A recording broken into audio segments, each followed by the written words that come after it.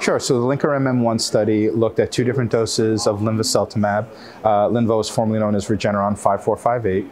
So we looked at two dosing schedules, uh, 50 milligram and 200 milligram. Essentially, everyone gets weekly dosing for the first 14 weeks. Then they switch to every other week dosing.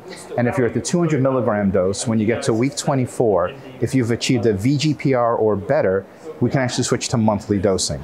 And what we've seen is for that 200 milligram dosing cohort, an overall response rate of 71%, which is unbelievable. And it's even amazing that we can actually dose these patients every four weeks, makes it better for the patient.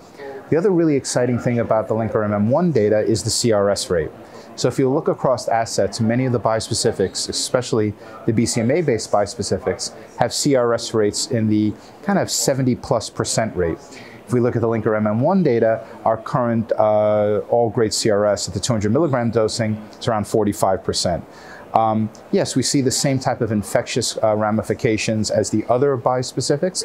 Most notably, there have been a couple cases of PJP, but only in patients who have not received prophylaxis.